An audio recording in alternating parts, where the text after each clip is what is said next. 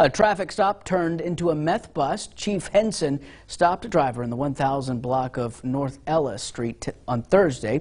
During the stop, officers say they found more than six grams of methamphetamine, prescription pills, marijuana, and a gun. The driver was taken into custody and placed into the county jail where he was charged with multiple outstanding warrants.